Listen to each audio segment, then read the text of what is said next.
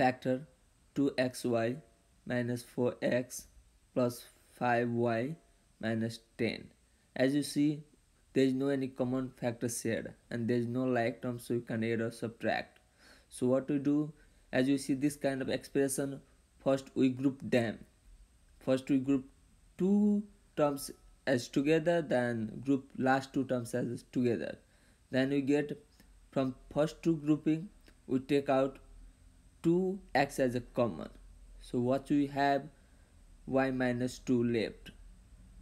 And then from last two terms we take out plus 5 as a common. Then we have left y minus 2 now as you see in both both both terms we take out y minus 2 as a common. And then we have left 2x plus 5 and this is our final factor